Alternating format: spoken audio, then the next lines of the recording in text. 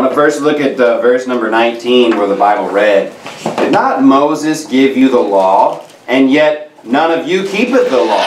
Why, ye go, why go ye about to kill me? The people answered and said, Thou hast a devil. Who goeth about to kill thee? So you see, Jesus, he's uh, rebuking them, saying they don't keep the law. And he's saying, you're, you're wanting to kill me. And they're like, we're not going about to kill you. But if you go back to verse 1, look at what it says at the beginning of this chapter. It says, After these things Jesus walked in Galilee, for he would not walk in Jewry, because the Jews sought to kill him. It was obvious that they were seeking to kill him. And you say, what does it mean there he would not walk in Jewry? That just means he's not walking where the Jews reside, where the Jews live. To be in Jewry would be like to live in Jerusalem or in parts of Judea where the Jews are residing. Not to be in Samaria or Galilee or these other places. Many times Jesus would not go into Jerusalem or Judea because he did not want to be killed when it wasn't his time to be slain. The Bible says many times that Jesus Christ had a specific timing that he was going to die, and he it was not his time yet. People would not lay hands on him because it was not his time. Or we see Jesus wouldn't go to certain events or situations because he did not want to be killed prematurely. Let's go to back to verse 21. So we see he's rebuking them because he says, Y'all don't keep the law. And he's like, Y'all are trying to kill me. Look at verse 21. Jesus answered and said unto them, I have done one work, and ye all marvel. Moses therefore gave unto you circumcision, not because it is of Moses, but of the fathers. And ye on the Sabbath day circumcise a man. If a man on the Sabbath day receives circumcision, that the law of Moses should not be broken, are ye angry at me, because I have made a man every whit whole on the Sabbath day? Judge not according to the appearance, but judge righteous judgment. And the title of my sermon this evening is Judge Righteous Judgment.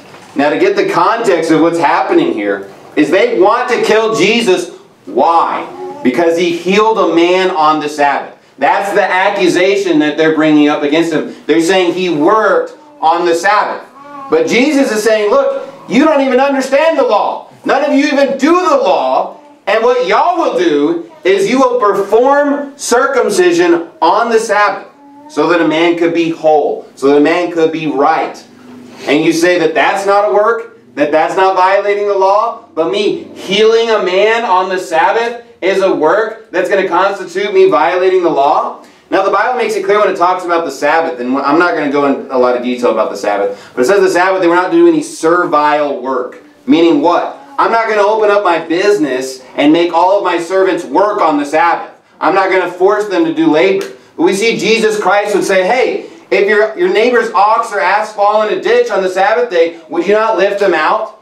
It's not like you're premeditating to do any work on the day, and the, what the, the service that you're doing is to help somebody. What would you be doing to circumcise? You're helping this guy. What would you do to heal somebody? You're helping somebody. And he's saying, look, y'all don't even understand the law. According to you, according to the appearance, by me healing somebody, it looks like to you I broke, violated the law. But if they knew the law, if they judged righteous judgment based on what the Bible says, they would know that it was not wrong to heal on the Sabbath day. Jesus Christ even asked this question at one point in the Gospels. He says, Is it lawful to do good on the Sabbath? And he looks around and nobody says anything. And he gets angry at them. He's saying, Are you kidding me? I made the Sabbath so you wouldn't force your, you know, your servant to go out and work in the field all day every single day of the week so he could get a rest. But you really think that I made the Sabbath so you wouldn't help somebody? So that you wouldn't heal a guy on the Sabbath day? He said, look, the Sabbath is not made for man. I mean, or the man is not made for Sabbath, but the Sabbath is made for the man. Look, Sabbath was to be a blessing unto people, was to be a rest, but they made it this grievous burden to be borne. These people, hey, you can't even lift a finger. No healing on the Sabbath. That's just a violation. These guys don't understand the Bible. They don't know what the Bible says. And we see a lot of people, when they don't know what the Bible says, they get really mixed up on judgment. They really hate judgment, at least they think that they do. They don't actually hate judgment, but they just hate judging righteous judgment, though. What would be a righteous judgment? Righteous judgment is when you take the Bible and you let it judge the situation. You let it judge people. You let it judge yourself. You let it judge all the situations. It's not what you think. It's not what you think it looks like. Because another way to say judge not according to the appearance would be what you perceive, what you think the situation is, what you think is right or wrong. It doesn't matter if you think what happened was right or wrong. It only matters what the Bible said. Now, some people will, will just completely ruin this verse. And there's basically two ways that you can just ruin this verse. The first mistake would say, well, that's saying you should never judge. You just don't, don't do any judging. We should never judge anybody. We should never make any kind of judgments. Well, this is a foolish decision because judgment, another way to word judgment, would be decision. To make a, uh, to use common sense is another uh, synonym with the word judgment. Now, do you really think that Jesus Christ is saying here, don't make decisions. Don't use common sense. That doesn't even make any kind of, uh, that in itself doesn't make any sense. The Bible is clear that, look, we're supposed to judge righteous judgment. And when it says judge not according to appearance, here's the second mistake people will make. This is a very common one. Is they will say, well, you're not supposed to judge a book by its cover. You're not supposed to make judgments based on the things way they look. The way people look, or the way things uh, uh, would have a physical outward appearance. But that's false, and I'm going to prove that with lots of Bible verses, that there's plenty of places in the Bible where it says we should make judgments based on the way things look. The Bible says to abstain from all appearance of evil. How in the world can you do that if you don't judge whether or not something looks good or not? You have to make a judgment first to decide if it looks good or looks evil for you to determine if I'm going to abstain from it, if I'm going to stay away. But the world today, they love judgment. That's just proven by reality TV shows. That's just proven by all American Idol. You know what people love? They love to watch these shows where people go and they'll compete and they have these judges that sit and they critique the performers. American Idol became one of the most popular TV shows. You know why? Because they had these judges that would say these mean, horrible things about the contestants. And everybody loved it. They thought it was great. Someone would get up and they sing, you know, they'd be tone deaf. I mean, they can't even sing, and they're just making a fool of themselves. And this one judge in particular, Simon Cowell, this guy became so popular. Nobody even heard of this guy, but he became so popular. Why? Because he just told very harsh, truthful things about these people. When they would get up, he wouldn't sugarcoat it and say, well, you know, that's a face only a mother could love. You know, he's, he's just telling them raw, you are terrible at singing, you're awful, you should get another job. And you know what? People love that. People love the raw truth. But somehow there's a disconnect when you use the Bible as your source of authority. When you open up the Bible and you say, hey, this is what God said, this is what Jesus thinks, then everybody starts freaking out. They start, we're not supposed to judge. Judge not. No, don't judge according to appearance. That's not what the Bible teaches. The Bible teaches that we're supposed to judge righteous judgments. And you know what? We shouldn't take pleasure in what Simon Cowell thinks. Who cares what Simon Cowell thinks? I only care what the Bible thinks. What is the Bible's judgments? Go, if you would, to Genesis chapter 4. Now, my first point to prove that it's not about appearance is the fact that the Bible gives us a lot of judgments based on the countenance of a person. Now, you say, what's a countenance? A countenance is basically your facial expressions. It's what goes on on the face. And the Bible has a lot to say about a person based on their face. You may not even realize how many verses in the Bible talk about this, but look at Genesis 4, verse 4. And Abel, he also brought of the firstlings of his flock and of the fat thereof. And the Lord had respect unto Abel and to his offering. But unto Cain and to his offering he had not respect. And Cain was very wroth, and his countenance fell. And the Lord said unto Cain, Why art thou wroth? And why is thy countenance fallen? If thou doest well, shalt thou not be accepted? And if thou doest not well, sin lieth at the door, and unto thee shall be his desire, and thou shalt rule over him. We see after the first murder in the Bible, God can discern what's happened just by his face. He can look at Cain and already, hey, this guy's done something wrong. And you know what? There's a lot of ways that you can judge somebody, but one of the ways you can judge people is by the countenance of their face. You can discern, hey, is this person lying to me? Is this person telling me the truth? Is this person a joyful person? Is this person an angry person? We can judge all kinds of things just based on a person's face. Now go, if you would, to Psalms chapter 10. You say, well, that's just a story. That's just, you know, God saying he could, he could discern it. But look, the Bible gives us other ways that we can look at a person just based on their face and make the judgments about them. It says in Matthew 6, verse 16, Moreover, when ye fast, be not as the hypocrites of a sad countenance, for they disfigure their faces, that they may appear unto men to fast. Verily I say unto you, they have their reward. So according to the Bible, if you were too fast, you should not going around moping about it on your face. You should not be going around just, oh, I haven't had any food today. I'm, you know, I feel really bad. You know, getting pity on, get, having people try to pity you. Oh, you're so righteous. Oh, you're so great. You suffer for Christ, don't you? Oh, you're skipping that meal. No, the Bible says don't go around in a sad countenance. If you're fasting, why don't you put a smile on your face and just praise the Lord Jesus Christ and don't get any accolades of men. You don't want to get praise of men because guess what? If you do, you don't have any reward according to the Bible. So just by someone's countenance on their face, you could lose your reward. And you know, we can judge certain people based on how they present their face. We see a lot of times the most wicked people, they're really good actors. You know, have you ever noticed this? I mean, most of the sodomites, where they're in Hollywood. And you know what? They're all actors. They love to transfigure their face and get all these emotions. You know what? Because it's a game to them.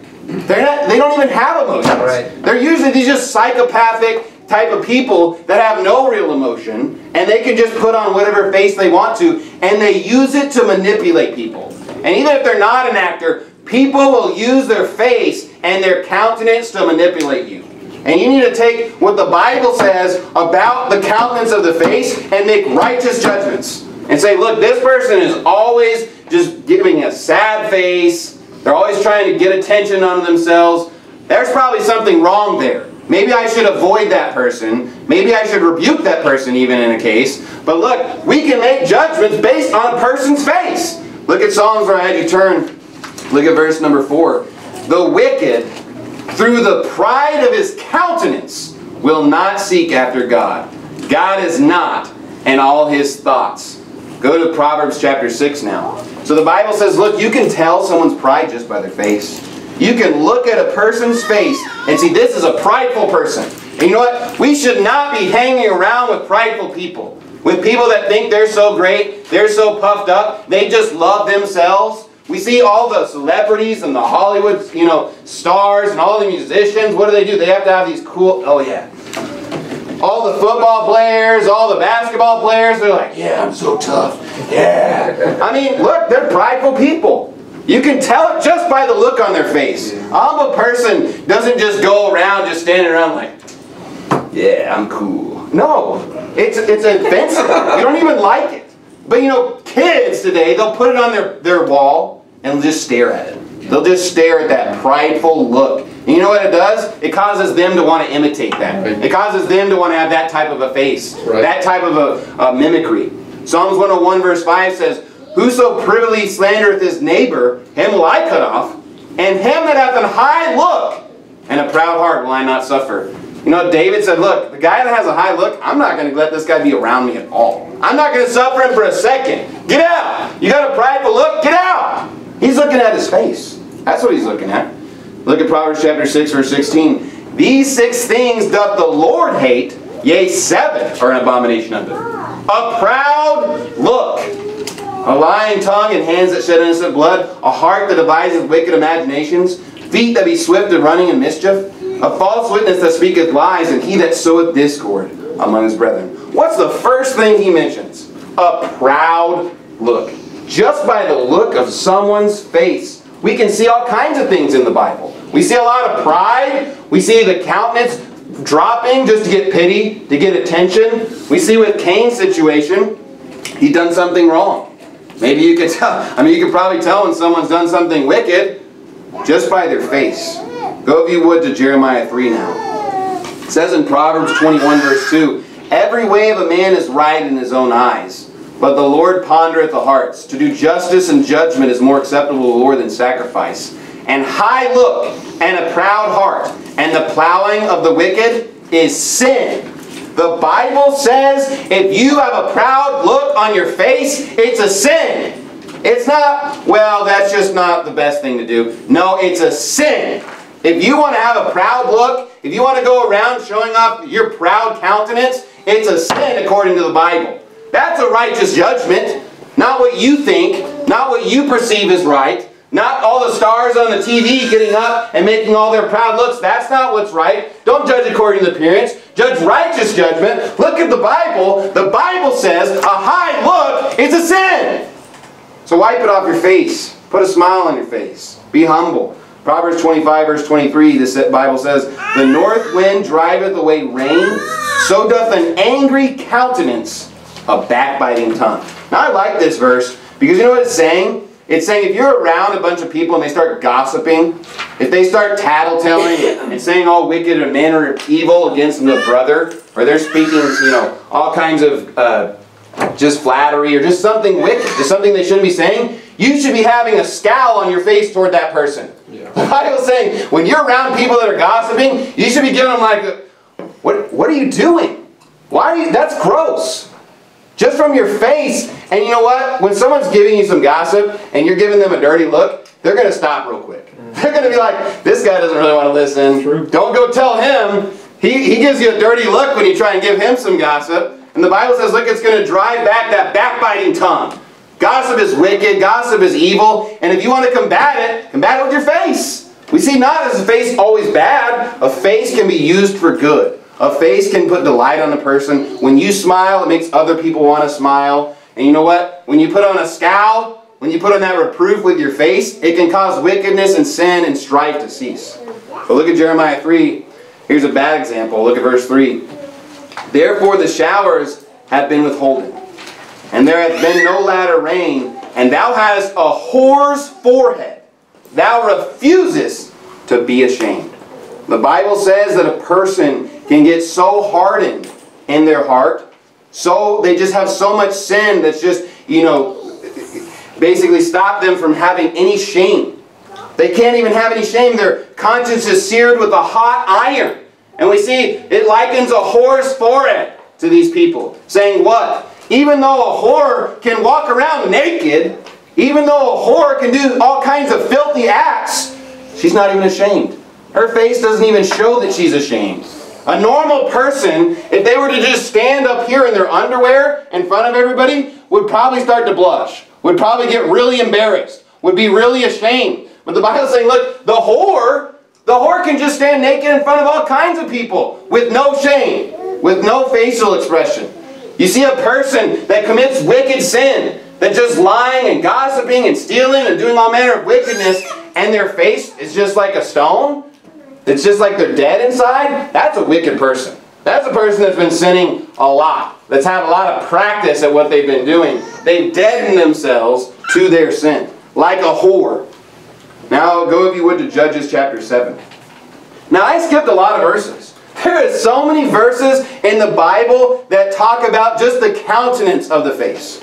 So we already see, just from one point, the Bible's not saying, when it says judge not after the appearance, it's not talking about just a physical appearance. It's not saying you can't judge a book by its cover. That might be a cool little adage, but it's not biblical. It's not what the Bible's trying to teach here. The Bible's saying, look, there's a lot of ways that you can judge somebody by their physical appearance. Now, this isn't to uh, discount the fact that just because someone might appear sinful, or might appear to have done things wrong, or something you don't like, doesn't mean they're just a wicked person. I'm not saying that uh, just because someone has tattoos or has lived a hard life or done something wrong, you see a weird situation, that that's just always a, uh, an excuse for you to be mean to the person or to be rude. Look, we're supposed to love every single person. We're supposed to always be forgiving. But we need to make sure that we're abstaining from all appearance of evil. And we need to use the Bible to determine if something is righteous or, or wicked. Just because you might see a person that's dressed a little different than you and wearing a lot of tattoos, that might make you in your, in your heart be a little queasy. You might think, oh, I don't like that. But is that really, I mean, is the Bible saying, like, look, don't go around that person? What if they have a smile on their face? But you see the guy that's clean cut, and he's got a lot of money, he looks nice, but he's got a proud look on his face. Stay away from that person. We can use physical appearance. We can use the countenance of the face to make righteous judgments about people. People you should stay away from. People that you should have nothing to do with. My second point, though, is you can tell a lot about a person just by their body language. Not just their face, but even the language of their body. You can do a lot of communication without ever saying anything. Without ever moving your face. Just by your body language, you can tell a lot about a person or say a lot of things. In Proverbs 29 verse 1 the Bible says, He that being often reproved hardeneth his neck shall suddenly be destroyed, and that without remedy. The Bible's saying, look, people can also not only have a proud look, they can have a proud neck. They can just, they can stiffen up. You know, you're telling somebody they did something wrong on the job, and a normal person, a lot of times, will have a kind of a countenance where they kind of, they, they, they hang down low, or they're kind of, they're ashamed, or they're looking down. Yeah. But you know, the person that's prideful in their heart, when you're reproving them, what'd you say about me? What? Did you just call me a name? What's going on? They stiffen up. They get all upright. They stiffen their neck. You saying that about my mama? Come on, buddy. Let's go. We see by the body language, you can tell a lot about a person. But you know, when someone's being reproved and they did wrong, a lot of times they'll kind of be like, yeah, I'm sorry. Yeah, no. I'm not saying you have to do this. I'm just saying you can tell this about people. Just by their body language, you can get a good idea. Is this person being humble or are they being proud? And a proud person will harden his neck. He will make, oh, what did you say about me? It says in Deuteronomy 31, 27, For I know thy rebellion and thy stiff neck. Behold, while I am yet alive with you this day, ye have been rebellious against the Lord. And how much more after my death? Bible likens the children of Israel a lot of times having a stiff neck. Is having this hardened neck. Why? They just can't be reproved. They can't be told wrong. They just think they're right. They love that they have so much pride in their heart. You see, just by your body language though, God can tell a lot about what's in your heart. You know, the person that has a righteous heart is not going to be stiffening their neck and hardening their neck constantly. Look at Judges chapter 7 verse 4. And the Lord said unto Gideon, The people are yet too many Bring them down into the water, and I will try them for thee there. And it shall be that of whom I say unto thee, This shall go with thee, the same shall go with thee. And whosoever I say unto thee, This shall not go with thee, the same shall not go. So he brought down the people into the water, and the Lord said unto Gideon, Every one that lappeth of the water with his tongue as a dog lappeth, him shalt thou set by himself. Likewise, every one that boweth down upon his knees to drink. And the number of them that lap putting their hand to their mouth were 300 men. But all the rest of the people bowed down upon their knees to drink water. And the Lord said unto Gideon, By the 300 men that lacked will I save you, and deliver the Midianites into thine hand, and let all the other people go, every man unto his place. Now this story is kind of interesting. It always perplexed me. But I believe the right way to interpret this passage is if you understand the story. At first they have a whole multitude of people that are going to go with Gideon to win this battle. And the Lord says, look, you have too many people with you even though you're really outnumbered, even though they've got like almost a million, you know, soldiers, he's like, if y'all win, you might think it was by your might. You might think that because y'all have enough people and enough soldiers, so you need to send back some people. So they send some people back, but there's still too many. So he's like, all right, let's do another division. By the guys that go and lap water, like a dog, those are the people that you're going to get saved with. What is he saying? He's basically saying, look, the least of the people, the people that lap like a dog, a dog, one of those filthy, you know, un, most worthless animals in the Bible, I'm going to save you by.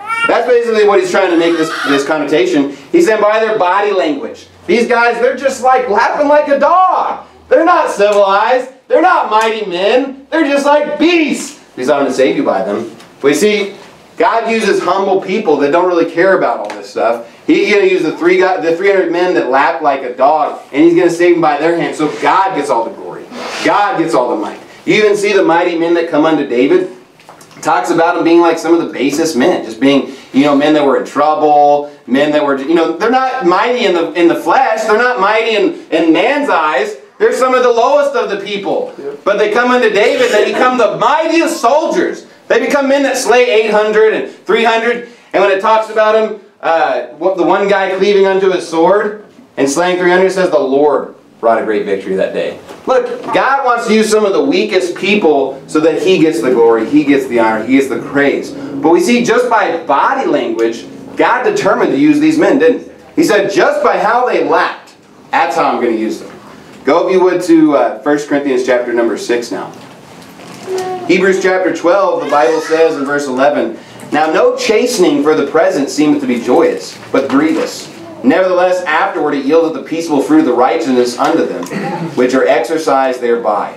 Wherefore, lift up the hands which hang down, and the feeble knees, and make straight paths for your feet, lest that which is lame be turned out of the way, but let it rather be healed. The Bible says, look, don't go around moping all the time. Don't go around with a sad, you know, uh, body language. You know, lift up your hands. The Bible talks about, you know, holy men lifting up their hands unto the Lord and praying.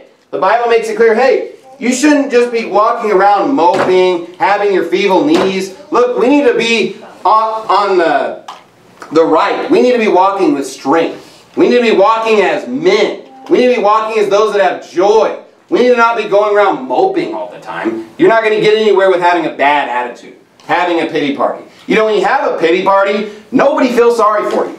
Look, just get over it, and then you can move on with your life. When I was younger, uh, I would a lot of times get picked on by my older brother or sister, and I would think it was so, you know, uh, they were so mean and rude to me. So I'd just go hide. I'd go hide and I would cry and feel all bad for myself and sad. While everybody else is laughing and playing a game and enjoying themselves. Look, they weren't sitting at the table like, we can't have a good time because John's not here. We can't, we can't enjoy food because John's not in here. No, they're like, look at that Brad over there crying. You know, feeling bad for himself. That's how people feel when you have a pity party. They don't, oh, we feel so bad. No, they're just going to move on with their life. You need to move on with your life too. Have a positive attitude. Have strong body language. Be a man. 1 Kings chapter 2 verse 2 the Bible says, I go the way of all the earth. Be thou strong therefore, and show thyself a man.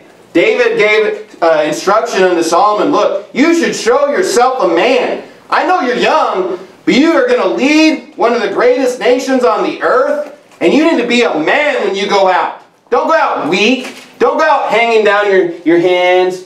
No, the king was supposed to go out before the people and come in after the people. He's supposed to be a strong leader. He's supposed to show himself a man. But look at 1 Corinthians chapter 6, verse 9. Know ye not that the unrighteous shall not inherit the kingdom of God?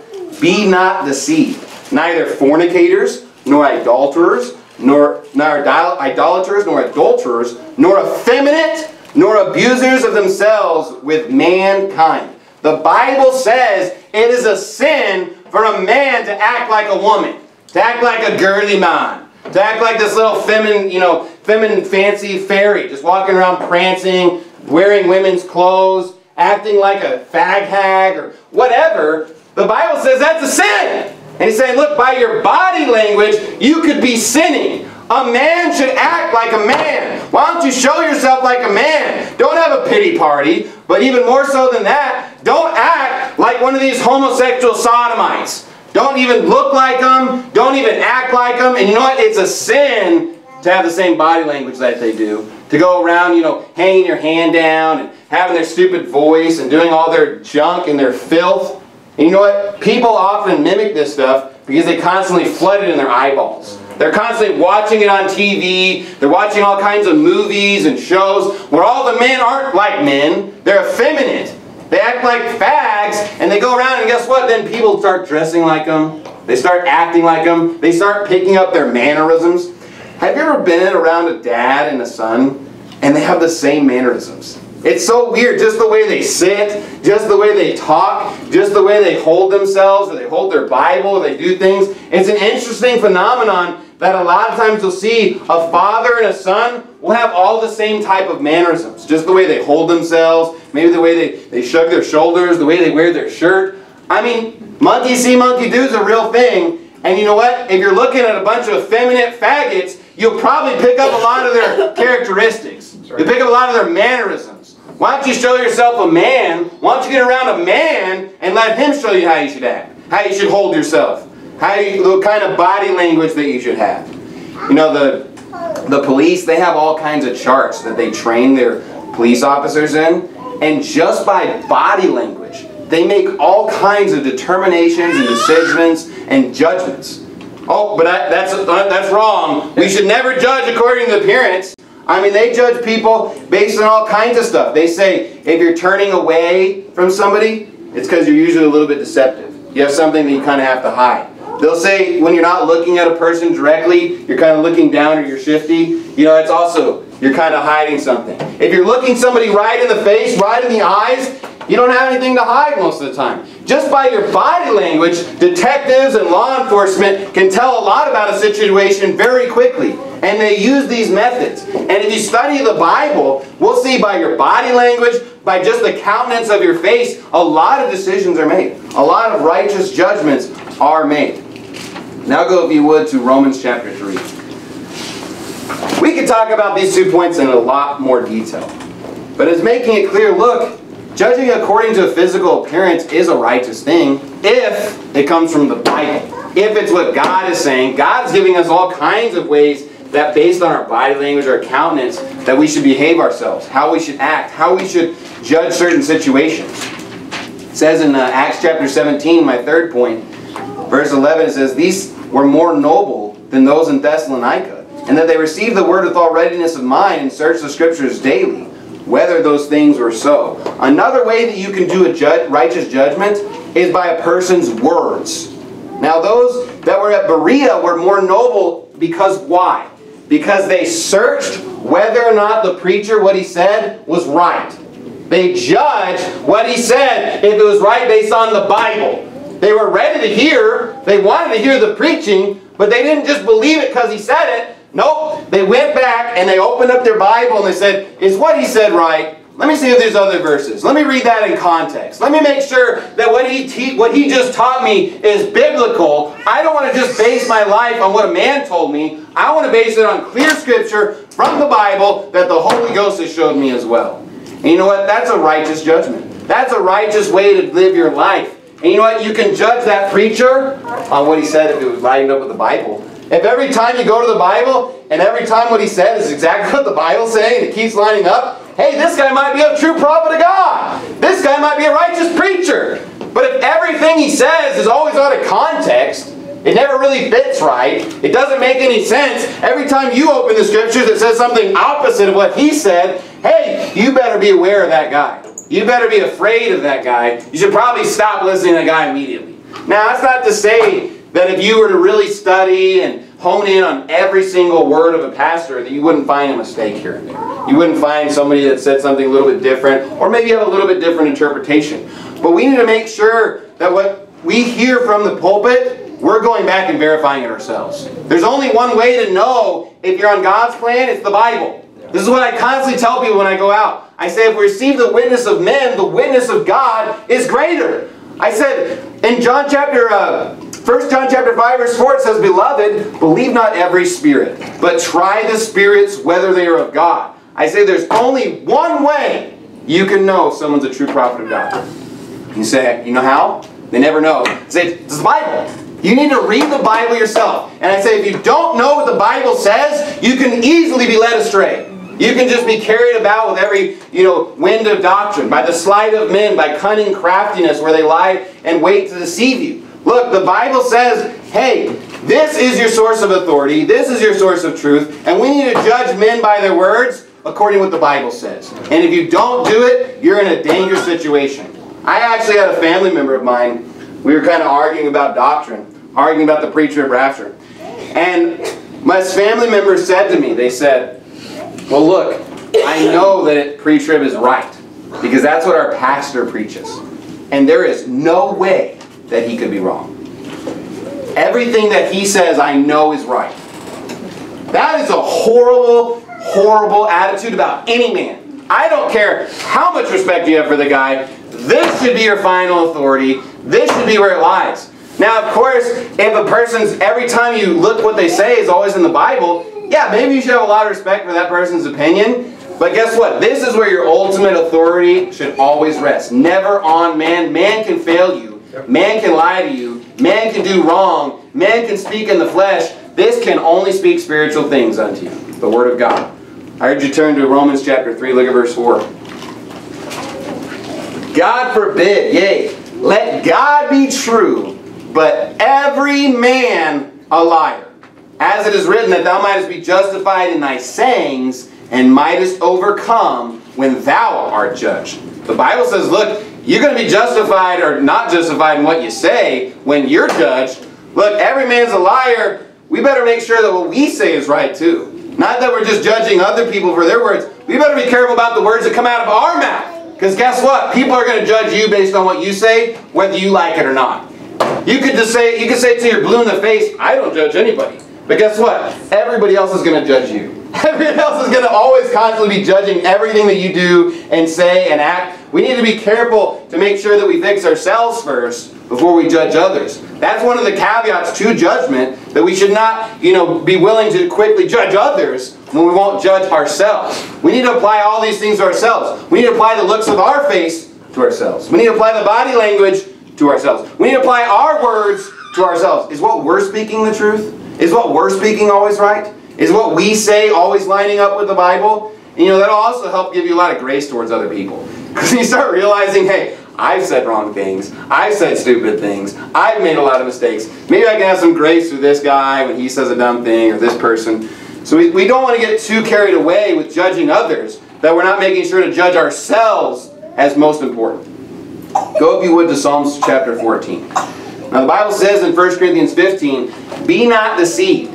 Evil communications corrupt good manners. Look, by a person's words, you can judge that person, and if they're speaking perverse things, get away from them. Don't have anything to do with them. The Bible says, A lying tongue hateth those that are afflicted by it, and a flattering mouth worketh ruin. Look, you don't want to be around those that are lying to you. You don't want to be around those that are flattering you. Flattering, according to the Bible, is always bad. Yeah. And we need to be careful that we're not flattering other people. The Bible says, Go from the presence of a foolish man when thou perceivest not in him the lips of knowledge. He's saying, look, when you hear a fool speaking over and over, get away from that guy. Mm-hmm. You don't want to judge this person by what he's saying. The fool has said in his heart, there is no God. I don't want to hang around with that person. I'll preach him the gospel if he wants to listen. But after that, see ya. I don't have anything to do with this fool. Get away from me. I'm going to judge you by your words. You know, people criticize soul winning all day long. They'll say, well, doesn't that make you a judge? Aren't you judging whether or not people are saved? And I'm like, yeah. But you know what I'm judging based on? Not how if they go to church. Not if they look like they're a righteous person based on their lifestyle. Not based on anything that they do based on what they say. Based on what comes out of their mouth. Because the Bible says, from the abundance of the heart, the mouth speaketh. And if someone's saved, guess what's going to come out of their mouth? Salvation. If someone's not saved, you know it's going to come out? The voice of a stranger. Oh, I'm a good person. Oh, you know, I live a good life. Oh, I go to church. That's not, that's not the words of Christ. That person's not saved. You can tell by their words, by what they believe. And that's the only basis I'm going to uh, use to base it whether or not someone's saved. They're telling you what they believe. Now, somebody might, with feigned words, give the right answer, and you can tell from a few other ways. There's been one time when I was sold, actually a couple times, where I've been sowing, and a sodomite has given me the right answers to salvation. But the interesting thing is, they couldn't say it with a straight face. They couldn't say it with any kind of sincerity in their voice. They're laughing while they're talking. They're mocking while they're laughing. They're saying, it's just believe. It's like Cinderella. How blasphemous and wicked to compare salvation in the Lord Jesus Christ to Cinderella. A story where the mother has their daughters cut off their feet just to get fame and glory, just to get money, just to, to mar their own body. Then we talk about, you know, turning a pumpkin into a carriage and turning rats into men. How wicked and blasphemous. You know, God didn't make uh, rats in God's image. He made man in God's image. Then you have a witch casting spells, and you have all this weird stuff. You have, oh, it is resolved if the shoe fits.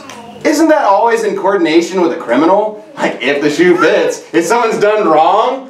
We see, look, Cinderella's a wicked story. And that's not the gospel. That has nothing to do with the gospel. And the person that likens that unto Jesus Christ, you can tell it's one that mocked. You see, when uh, Lot came unto his sons-in-law, and he's warning them, he seemed as one that mocked. They can't believe it. They could say, they could repeat the right answer, but they don't understand it. They don't perceive it. So we can use other things. But by someone's words, we can tell whether or not they're saved. The Bible makes that very clear. Look at Psalms chapter uh, 14, verse 1. The fool has said in his heart, There is no God. They are corrupt. They have done abominable works.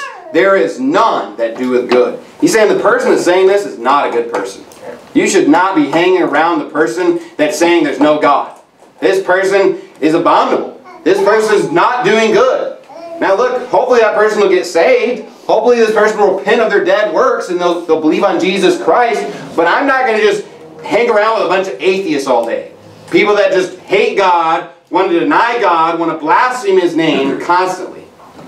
Now go, if you would, to Luke chapter 20. The Bible says in Matthew chapter 12, O generation of vipers, how can ye, being evil, speak good things? For out of the abundance of the heart the mouth speaketh. He says, look, the Pharisees, they can't say anything good. They're a viper. They're wicked. They have wickedness in their heart, and out of their heart cannot come anything good. The Bible says, But though we or an angel from heaven preach any other gospel unto you than that which we have preached unto you, let him be accursed. The Bible says someone preaching another gospel, there should be accursed. It doesn't say, oh, they're a little off. Oh, it's just a, it's just a little bit different. Oh, it's okay. You know, the Methodist down the street saying, repent of your sins, that he, he's still a Christian. He still loves God. No, let him be accursed. And I'm going to judge him by his words. Not on the fact, oh, he's, oh, he voted Republican.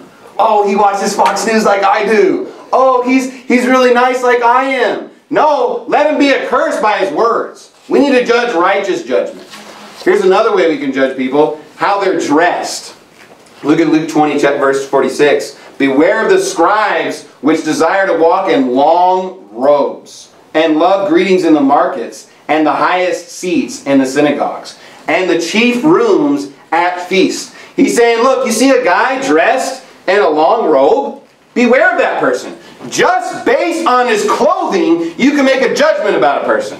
You can look at the Catholic today, you can look at the Episcopal priest today, and you can say, I need to beware of this guy because he loves to walk around in a robe. He loves to walk around in this long robe to show how righteous he is when he's wicked on the inside. When he teaches a false gospel, let him be accursed. Another way, Proverbs chapter 7.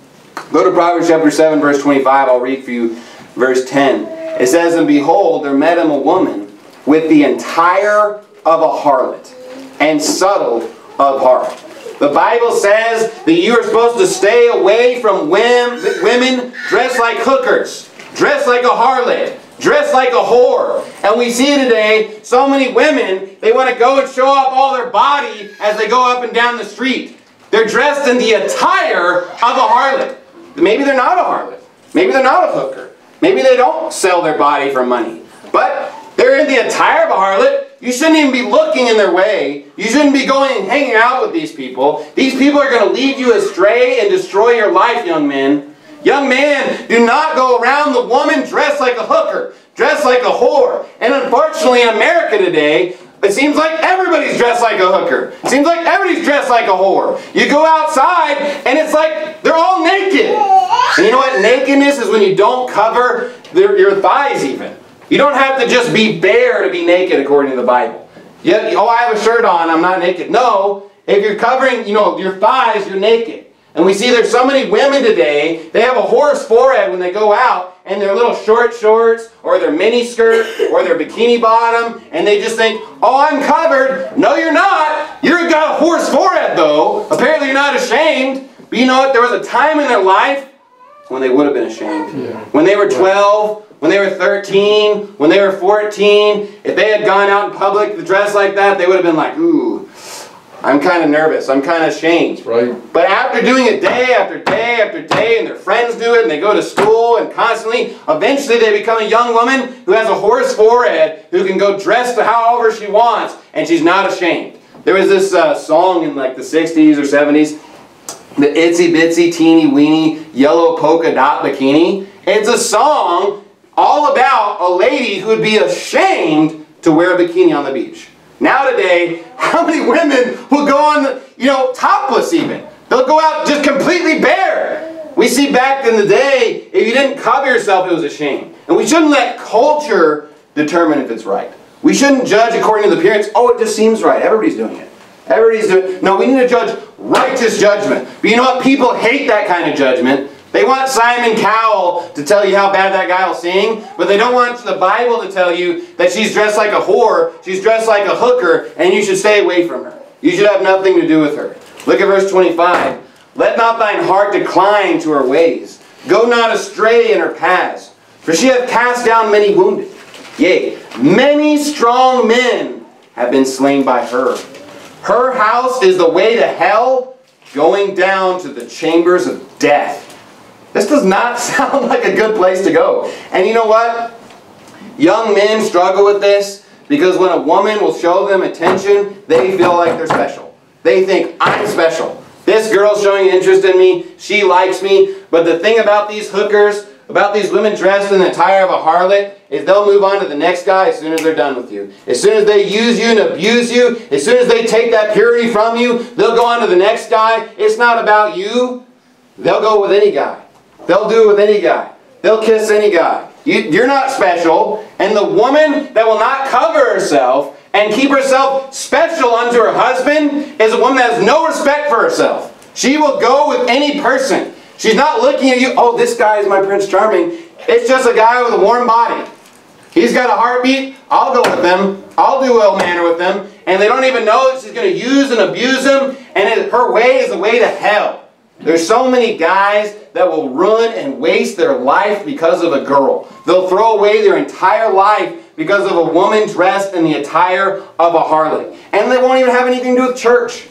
Well, you know, I, I could go to church, I could live godly, or I could pursue this whore that's sitting in my living room. I could go to the bar and go lie with whores tonight and go lie with some cheap woman that has no respect for herself, or I could go to church. Ooh, I'm going to go and, and just chase after the whores. I don't know want to know about God. I don't know want to be about Jesus. I don't want to receive the free gift. I'm too afraid of the light. And they'll just chase the whore all the way to hell. And they'll die and they'll burn and go to hell just because of a woman. And we need men to hear you need to stay away from a woman dressed in the attire of a harlot. She will destroy your life. She will ruin your life, whether she realizes it or not. The Bible says that it's true, and I believe the Bible. I've seen this. Women have a strong pull over a man. The Bible says that we're not supposed to give our strength unto women yeah. as men. A man, you have the ability to hold your own strength. But if you put yourself in a certain situation with a woman in the attire of a harlot, you can give your strength unto her. We see Samson. His, he's the archetypical person of the Bible. The strongest guy. I mean, this guy's so strong. You know who defeats him? A woman. Yeah. A woman. He gives all of his strength unto Delilah. Why? Women can take all the strength from you if you give it to them. If you go and chase after the whore. We see Samson constantly struggle with whores. He liked to lie with women. And he let that ruin his life. You know, he got his eyes poked out. He ended his life early in suicide. That's not a way to go. And you know? The verse is true. These whoremongers are just as bad. There's all kinds of guys. They just want to be with a girl one night move on. And they can ruin women's lives. They can get them knocked up and have a child and move on and have nothing to do with them and just ruin their lives. Have nothing to do with them. Just give them no support. Make them a very undesirable person. Because guess what? Guys don't go around looking for single women with children to marry. They don't get excited. It's just the truth. A young man is not looking for a woman that's been knocked up and abandoned by some guy. That's not the first person he's looking for to marry. And we see a woman should not devalue herself to just go sell her body, dress like a harlot, and go ruin her life. And you know what? We need to make righteous judgments on the way that people look. If everybody would shame the person that's dressed like a harlot, guess what? They would change. They'll put on different clothes. That's the whole point of the song. Nancy Betsy Teeny, we need Biola Polka without bikini. It's so stupid. But you know what? If everybody had said you look like a whore when she walked out, maybe she should have went back in and put on a dress. Put on something to cover up all of her nakedness, and she wouldn't be the whore that she is today. She wouldn't be this, you know, scandalous person with a whore's forehead. You know, we need preaching like this so the young people will make righteous judgments in their life and they won't ruin their lives. Go go to James chapter 2. We can tell a lot based on a person's physical appearance. We can use the Bible to make righteous judgments based on people's appearance. But what the Bible's warning against is we shouldn't base it off our own perception, our own determination of right and wrong. We need to use the Bible as our compass. The Bible is the light unto our feet that's going to tell us whether things are right or wrong. One last point is you can judge a person based on their works. James chapter 2 verse 18. Yea, a man may say, Thou hast faith, and I have works. Show me thy faith without thy works, and I will show thee my faith by my works. Thou believest that there is one God? Thou doest well. The devils also believe and tremble. But wilt thou know, O vain man, that faith without works is dead? Was not Abraham our father justified by works when he had offered Isaac his son upon the altar? Seest thou how faith wrought with his works, and by works was faith made perfect. And the scripture was fulfilled which saith, Abraham believed God, and it was imputed unto him for righteousness. And he was called the friend of God. Ye see then how that by works a man is justified, and not by faith only. Now this church, it couldn't be clearer that salvation is by faith alone. Going to heaven has nothing to do with how you live your life, nothing about how faithful you are to God, nothing about if you clean up your life or go to church or do works. I don't judge whether or not someone's going to heaven based on anything they do with their life. If they go to church, I could care less. What do you believe? What is it? Where's your faith at? But you know what? There's another way you can be judged, and that's by your works. He's saying, you see then how that by works a man is justified, not by faith only. You're not going to have any pleasure with God if you don't do the works. God will not be pleased with you if you break His commandments, if you don't follow His rules. If I, if I, you know, have another son and he breaks all of my rules, that's going to give me zero pleasure. I am not going to be excited that my son is breaking every single one of my rules, never doing what I say. It's going to be a grief unto me. It's going to be a shame unto me. It's going to be just awful. And according to the Bible, once he gets old enough, I would take him out and stone him if that was the law of the land. And you know what? God does no pleasure in a saved Christian who refuses to follow any of his commandments, who just turns his ear away from hearing the law. You know, the Bible talks about in Hebrews chapter 10 uh, about a person, you know, drawing or falling away from the faith or going away from the faith and he has no pleasure in his soul. The Bible's just saying, look, a person that does not serve God, God has no pleasure in them. Okay, you can be saved and going to heaven, and God's not pleased with you. God's not happy with you. But was God pleased with Abraham? Yes. He was, a, he was following God's commandments. And when he offered Isaac, his son, upon the altar, one of the greatest works ever done in the Bible, he's now justified to be called God's friend. Is everybody that saved God's friend? Unfortunately, no. If, if you follow my commandments, then are you my friends. The Bible says. Look, if you want to be God's friend, if you want to have a close relationship with God on this earth, if you really want to get close to God, draw near to God, guess what? You got to follow the commandments. You got to do the works. You got to go to church. You got to read your Bible. You got to pray. You got to go out soul winning. You got to do all these things. If you want to draw close to God, if you want God to be pleased with you, you have to follow His commandments. And so if we want to look at a person who really loves God, who's really the person that has a lot of love towards God? It's the person who follows God's commandments. And we can judge a person how much they love God based on their works. You see a guy that's constantly doing right and following God's commandments? Hey, this guy really loves God. I don't care what he looks like. I don't care what his singing voice sounds like. I don't care about any of these other things. Hey, I don't care if he makes a lot of money. I don't care about his wealth. I don't care about all these other stupid ways to judge people. Hey, he's following God's commandments. He must love the Lord a lot. That's how another way we can judge him. Now, I ran out of time.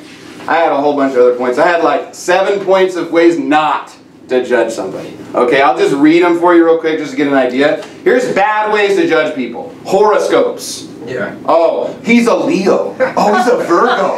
He must be a really cool person. This is not biblical, that's witchcraft. Here's another horrible way. Their past decisions. Just because someone was a fornicator, was a drunk, did steal, you need to forgive that and forgive them. That's not a biblical way to judge somebody. Unless it was like a qualification of a pastor or something. Birth order. Another way, they'll say, oh, he's the firstborn. he must be really, you know, independent and he must be a really cautious and, you know, strong person. Guess what? Reuben was unstable as water. And he was the firstborn. Judge somebody on their wealth. Do you not have respect of persons when you judge somebody based on their money? Judge somebody based on their health. We see Job's friends, they were not right to oh, judge Job based on his health. Or judge somebody on where they grew up, where they live, their race. Look, he's made of all he's made of one blood all nations of the earth for men to dwell in, has he not? Amen. Look, there's no I don't believe in race. There's no such thing as race except for running a race. But the Bible, you know, the, the Jews that would say that Christians are always liars. Oh, these one group of people, they're just always lying. They're just wicked people in their heart. That's a bad judgment. That's not a righteous judgment. Look, of every nation in the earth, people are going to be in heaven, according to the Bible. Are you going to really say, oh, they're just all wicked, they're all bad? No, we need to not judge according to appearance. We need to judge righteous judgment. Not what you think, not what someone else told you is a good way to judge. Not what the doctor said. Not what school said. Not what Trump said. No, what the Bible said. Not what society says, what the Bible said. Not what Simon Cowell said, what the Bible says. Not what you said in your heart. Look, your heart could be wicked. It could be deceitful. Judge righteous judgment based on the Bible. And you know what? There's a lot of ways we can judge people on their physical appearance. We need to make sure to first judge ourselves and use ju righteous judgment. Let's close in prayer. Thank you, Father, so much for your word that we can have righteous judgment, that we can know what is right, that we can be led into truth. I just thank you so much for all that you've given us. I pray that we'd use your Bible to make all of our decisions and our judgments and use common sense. In Jesus' name I pray, amen.